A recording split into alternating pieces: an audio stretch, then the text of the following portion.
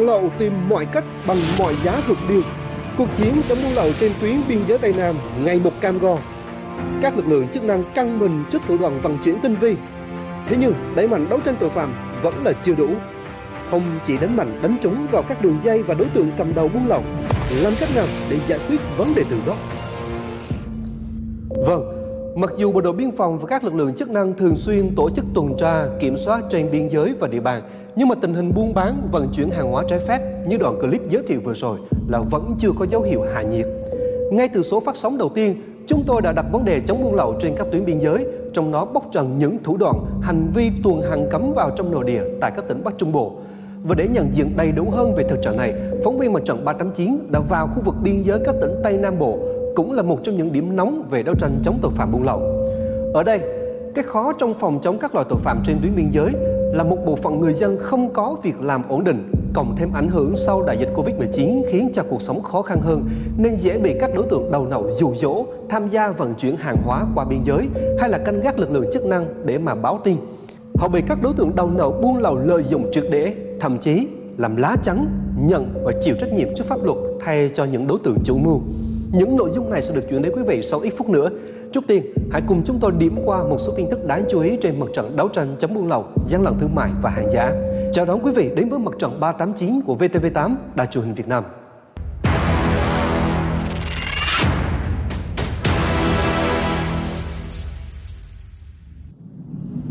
Triển khai nhiệm vụ chống buôn lậu, gian lận thương mại và hàng giả năm 2023, Văn phòng Thường trực Ban Chỉ đạo 389 quốc gia, các bộ ngành, lực lượng chức năng, đơn vị địa phương đã phát hiện, bắt giữ, xử lý gần 140.000 vụ việc buôn lậu, gian lận thương mại và hàng giả, tăng 1,17% so với năm 2021.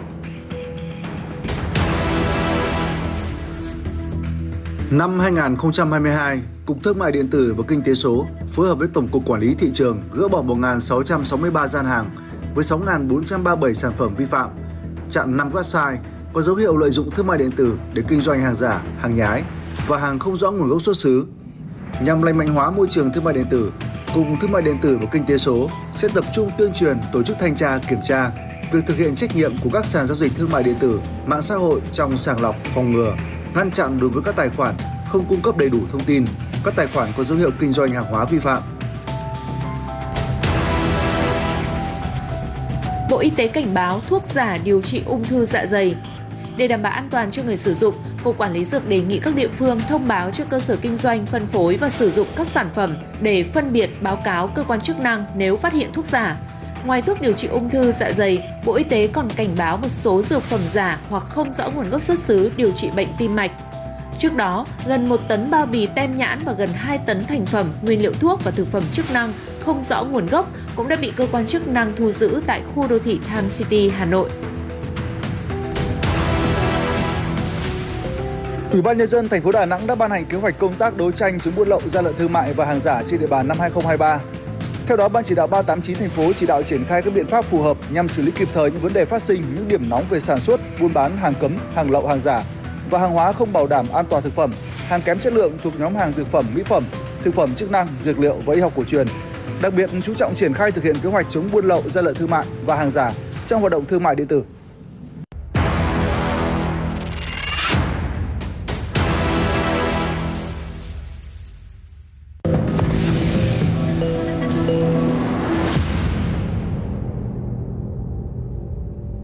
Thưa quý vị, miền Tây đã qua mùa nước nổi và giờ đang ở giữa mùa khô. À, không còn những chiếc thuyền máy dài hình thoi hay còn gọi là vỏ lãi như thế này chở hàng lậu phóng như bay trên những cánh đồng mùa nước nổi, thách thức lực lượng chức năng. Giờ là thời điểm các đối tượng chuyển hướng sang hoạt động lén lút và ngấm ngầm tuần hàng lậu qua các lối mòn, kênh rạch, qua sông bằng đò, bằng phà. Và khi bị phát hiện thì các đối tượng nhanh chóng biến mất, chỉ để lại tăng vật. Phóng sự sau do nhóm phóng viên VTV8 thực hiện tại An Giang, nơi có đường biên giới tiếp giáp Campuchia dài gần 100 km, có nhiều kênh rạch, đường mòn, lối mở và nhiều khúc sông chung. Đây là điều kiện thuận lợi được các đối tượng triệt để lợi dụng để vận chuyển hàng hóa nhập lậu, tập kết tại các khu vực bến bãi, khu đất trống sát biên giới và khi gặp thời cơ thuận lợi thì sử dụng xe ô tô, mô tô vận chuyển đi nơi khác tiêu thụ.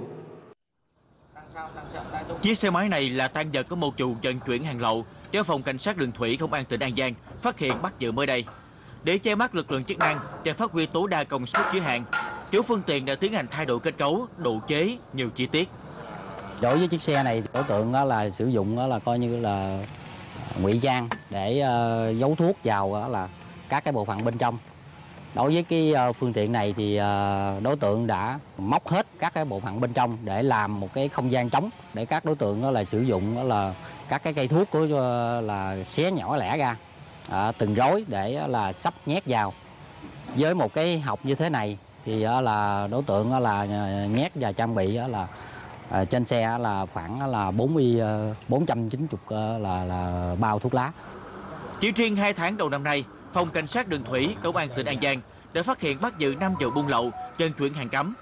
Thuốc lá điếu là mặt hàng phổ biến nhất được các đối tượng vận chuyển lén lút trong khu vực nội địa bằng xe máy, dậu lãi. Theo cái quy định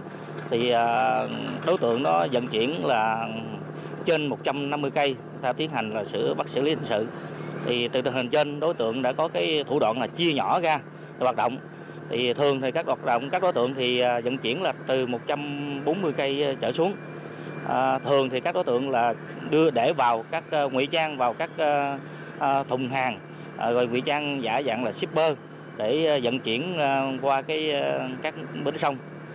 Thì uh, các đối tượng thì khi xuống tiến đò phà qua sông thì thường là bỏ phương tiện. Khi lực lượng chức năng đến uh, sử dụng cái uh, phương tiện đến thì các đối tượng bỏ phương tiện. Vì vậy thì trong thời gian qua thì chủ yếu bắt là được là tăng vật và phương tiện thì đối với người thì cũng chưa có xử lý được. Sau mỗi mùa Tết, hàng trăm tăng vật là những chiếc xe máy, những dầu lãi và những bao hàng lậu ngày càng nhiều thêm như thế này. Rất ít đối tượng bị bắt giữ, hoặc có bị bắt thì cũng chỉ bị xử lý hành chính vì chưa đủ mức độ xử lý hình sự. Trong số đó, có những người bỏ nghề tìm việc khác để mưu sinh. Nhưng cũng có nhiều người quay trở lại con đường cũ là vận chuyển hàng lậu.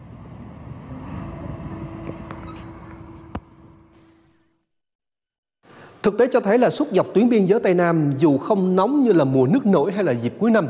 nhưng mà trong những ngày sau Tết Nguyên đán, hoạt động buôn lậu vẫn ngấm ngầm diễn ra.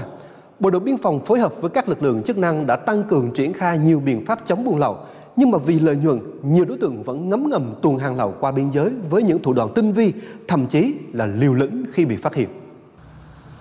Đây là 20 bao đường cát vừa được Bộ đội Biên phòng tỉnh An Giang phát hiện và tạm giữ cách đây ít ngày. Toàn bộ số hàng được một người dân địa phương chở trên vỏ lãi, lén lút vận chuyển trong đêm tối qua biên giới theo đường kênh rạch từ Campuchia vào nước ta. Tại thời điểm kiểm tra, người chở hàng không xuất trình được giấy tờ chứng minh nguồn gốc. 20 bao, tương đương khoảng một tấn đường. Và với một tấn đường này, khi được vận chuyển trót lọt qua biên giới, thì các đối tượng sẽ chia nhỏ và bán cho các tiểu thương và bán cho người dân ở trong khu vực nội địa. Và đường là một trong những cái mặt hàng khá phổ biến của hoạt động buôn lậu, vận chuyển ờ, hàng qua biên giới khu vực phía Tây Nam.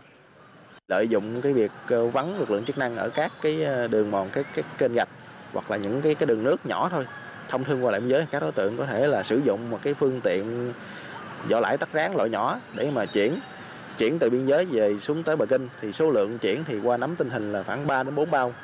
chuyển tiếp sau đó đến điểm tập kết ở dưới khu vực biên giới chỗ bờ kinh hoặc là các kho bãi của người dân hoặc là nhà người dân bỏ hoang thì chúng tập kết giấu vào đó. Không căng thẳng như mùa nước nổi, nhưng từ đầu năm đến nay, hoạt động buôn lậu vẫn ngấm ngầm diễn ra với thủ đoạn tinh vi và liều lĩnh hơn. Chỉ riêng trong đợt cao điểm trước, trong và sau Tết Nguyên đán, Bộ đội Biên phòng tỉnh An Giang đã bắt giữ và xử lý 31 vụ, phối hợp bắt giữ và xử lý 12 vụ buôn lậu qua biên giới. Lực lượng biên phòng chúng tôi là thực hiện đồng bộ các biện pháp công tác biên phòng, chú trọng là cái công tác uh, nghiệp vụ, thường xuyên là nắm cái tình hình từ sớm từ xa, rồi là phối hợp với các cái à, cơ quan chức năng có liên quan để thực hiện cái công tác à, chống buôn lậu đạt hiệu quả, rồi làm tốt cái công tác giáo dục chính trị à, tư tưởng cho cán bộ chiến sĩ không để bị móc nối lôi kéo mua chuộc. Một quan trọng nữa là cái công tác vận động quần chúng để là nhân dân ở trên khu vực biên giới chấp hành và là tham gia cùng bộ đội biên phòng à, đấu tranh có hiệu quả với các loại tội phạm. Tính trên địa bàn toàn tỉnh An Giang, trong đợt cao điểm trước, trong và sau Tết Nguyên đán, các lực lượng chức năng của tỉnh An Giang đã bắt giữ và xử lý hành chính 170 vụ 7 vụ khác chuyển cơ quan điều tra xử lý hình sự. Những giải pháp đồng bộ và lâu dài, bền vững là điều đang được các cấp chính quyền và ngành chức năng tỉnh An Giang tích cực triển khai. Trong khi đó, tại tỉnh Kiên Giang, với một vùng biển rộng lớn hơn 63.000 km vuông, giáp với Campuchia, Thái Lan và Malaysia. Hoạt động buôn lậu trên biển diễn ra phức tạp hơn so với trên đất liền, đặc biệt là hoạt động buôn lậu xăng dầu. Các đối tượng lợi dụng đêm tối và vùng biển rộng, ờ, dùng đề can dán để thay đổi biển số tàu. Ờ, đối tượng hoán cải tàu cá thành tàu chở dầu và dùng ngư cụ ngụy trang ở bên trên. Ừ. Ờ, đối tượng sử dụng sim điện thoại vệ tinh ờ, với ờ, sử dụng máy thông tin có cùng tần số để liên lạc. Các đối tượng cũng cấu kết với ngư dân ở các tàu cá đang hoạt động. Khi phát hiện tàu của lực lượng chức năng thì thông báo kịp thời cho tàu buôn lậu. Các đối tượng chỉ bơm bán dầu ở trên biển, còn việc thanh toán tiền thì cho các đối tượng thanh toán ở trên bờ. Ờ, tuy nhiên, ờ, thời gian qua thì ờ, Bộ đội Biên phòng tỉnh Kiên Giang đã tiến hành đồng bộ các biện pháp công tác biên phòng, phối hợp chặt chẽ với lực lượng cảnh vùng cảnh sát biển 4, vùng 5 hải quân, rồi lực lượng kiểm ngư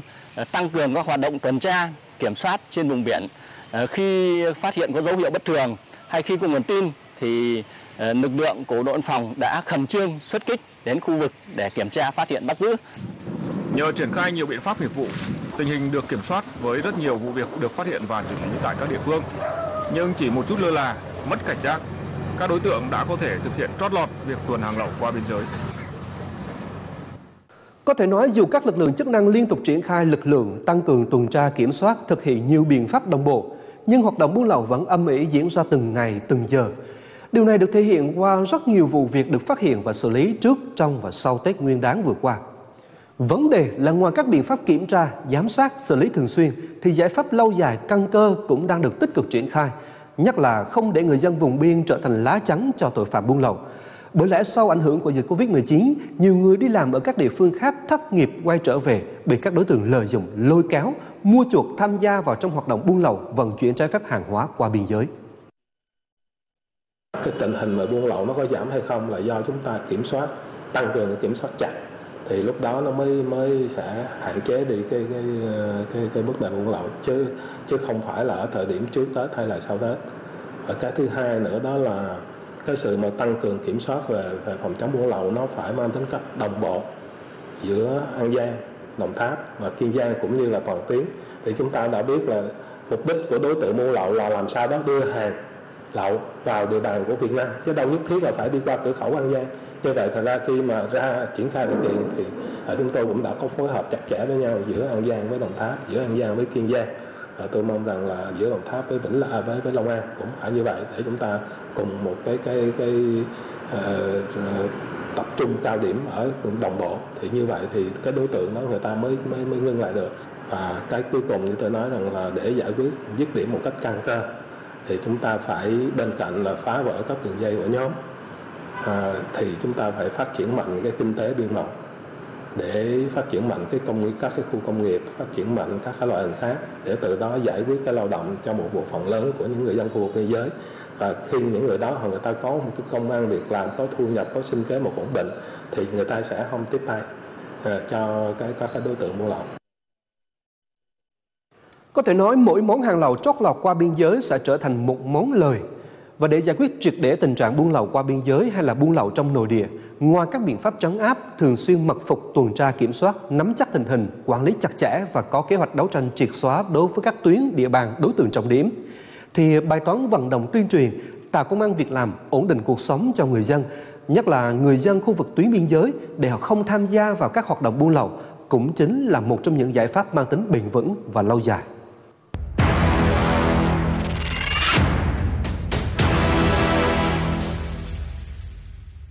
Việt Nam hiện có hơn 100 triệu dân với hơn 70 triệu người sử dụng Internet. Trong giai đoạn đẩy mạnh và tăng tốc chuyển đổi số như hiện nay, thì các đối tượng xấu đã lợi dụng sự bùng nổ về công nghệ thông tin, những tiện ích mà công nghệ thông tin mang lại như là tương tác qua mạng xã hội hay là các ứng dụng nhắn tin vân vân để mà thực hiện nhiều vụ lừa đảo trực tuyến, chiếm đoạt tài sản có giá trị cao. Theo Bộ Thông tin và Truyền thông chỉ tính riêng trong năm 2022, có 3 nhóm lừa đảo chính bao gồm à, giả mạo thương hiệu, chiếm đoạt tài sản và các hình thức kết hợp khác với 16 hình thức lừa đảo thường xuyên diễn ra trên không gian mạng tại Việt Nam. Mặc dù lực lượng chức năng đã tăng cường tuyên truyền cho nhân dân biết về các phương thức thủ đoạn của loại tội phạm này, Thế nhưng nhiều người vì nhẹ dạ cả tin và không ít trường hợp vẫn trở thành những nạn nhân mới. Đây là một trường hợp nạn nhân trú tại huyện Thọ Xuân, tỉnh Thanh Hóa bị lừa đảo chiếm đoạt tiền sau khi tham gia sàn giao dịch ảo trên mạng có địa chỉ tại quận 1 thành phố Hồ Chí Minh. Được biết, nạn nhân này đã được các đối tượng dụ dỗ, hứa hẹn ký hợp đồng hợp tác gói đầu tư siêu lợi nhuận, cam kết đầu tư 50 triệu đồng sẽ nhận được gần 700 triệu đồng chỉ trong 3 ngày. Nhẹ dạ cả tin và ham làm giàu sổi, nạn nhân đã vay mượn chuyển 80 triệu đồng đầu tư. Thế nhưng, các đối tượng này nói rằng chưa nhận được số tiền và đã chặn liên lạc ngay sau đó. Thử xem thế nào thôi, nhưng cuối cùng bị lôi cuốn vào đấy. Sau khi chơi trúng tiền, đến lúc rút tiền, là họ lại yêu cầu là phải trả tiền rồi mới được rút. Nhưng mà khi nạp vào được rồi ấy, thì họ lại bảo là cái số tài khoản sai, phải chạy lại tài khoản. Chạy vào tài khoản họ yêu cầu là 72 triệu nó mới chạy lại tài khoản. Lúc này mới mới thật sự là tôi mới tính ra là đó là một hình thức lừa đảo. Theo Công an tỉnh Thanh Hóa, thời gian gần đây, tội phạm sử dụng công nghệ cao, lừa đảo, chiếm đoạt tài sản gia tăng, diễn biến phức tạp, chiếm 70% số vụ lừa đảo trên địa bàn. Phương thức thủ đoạn của các đối tượng là lợi dụng các mạng xã hội, mạng viễn thông để liên lạc với bị hại, sau đó lợi dụng lòng tin, lòng tham hoặc sự sợ hãi của bị hại để thực hiện hành vi lừa đảo. Quá trình điều tra vụ án gặp nhiều khó khăn do các đối tượng trên mạng có tính nhận danh cao. Thứ hai là các đối tượng sử dụng các cái tài khoản Zalo, tài khoản ngân hàng, số điện thoại giả mạo gây khó khăn cho quá trình xác minh điều tra của cơ quan công an. Chúng tôi đã phối hợp với các tổ an ninh trật tự tuyên truyền trực tiếp từng hộ dân. Tuy nhiên, tình hình tội phạm lừa đảo, chiếm đoạt tài sản đang xảy ra với nhiều hình thức và phương thức thủ đoạn khác nhau. Công an xã Tây Hồ sẽ tiếp tục tuyên truyền đến người dân để nâng cao ý thức phòng ngừa, đấu tranh các loại tội phạm nói trên. Tội phạm lừa đảo trên không gian mạng đã để lại những hệ lụy và thiệt hại khó đo đếm. Vì vậy, ngoài công tác đấu tranh của lực lượng chức năng, điều quan trọng nhất đó là tinh thần chủ động phòng ngừa, sự cảnh giác cao của mỗi người dân, tránh sập bẫy của kẻ xấu. Các hình thức lừa đảo trên mạng có thể sẽ còn thay đổi và không ngừng gia tăng. Vấn đề là cho dù công nghệ mới xuất hiện, đối tượng lừa đảo trên không gian mạng cũng sẽ tìm mọi cách để lợi dụng khai thác, đánh vào điểm yếu nhất, đó chính là con người. Áp dụng nhiều biện pháp tác động tâm lý nhằm lấy lòng tin và dẫn dắt nạn nhân theo kịch bản. Đến khi gánh chịu thiệt hại, không ít người lại nếu như giá mà biết vậy, thậm chí có tâm lý bỏ qua mắc rồi thì thôi, ngại các thủ tục trình báo pháp lý phức tạp. Để không rơi vào tình cảnh này thì trước hết mỗi cá nhân cần trang bị cho mình kiến thức và kỹ năng, luôn cẩn trọng và kiểm tra lại khi gặp tình huống khả nghi. Tuyệt đối không cung cấp các thông tin cá nhân khi gặp phải số điện thoại lạ hoặc là người lạ gọi tới. Song song với những cảnh báo việc có những chế tài xử phạt rõ ràng, nghiêm khắc đối với các hành vi lừa đảo trục lợi qua không gian mạng sẽ là những răn đe cần thiết đối với những kẻ ăn trên mồ hôi nước mắt của người khác. Chương trình Mặt trận 389 kỳ này cũng xin được kết thúc tại đây. Quý vị có thể xem lại chương trình tại địa chỉ website vtv8.vtv.vn hoặc là VTV Go của Đài truyền hình Việt Nam. Thông tin nào cần phản ánh, quý vị có thể liên hệ qua số điện thoại đường dây nóng đang hiển thị ở trên màn hình 0981 618 618 hoặc là fanpage VTV8 Đài truyền hình Việt Nam. Hẹn gặp lại quý vị trong chương trình Mặt trận 389 kỳ tới. Xin chào.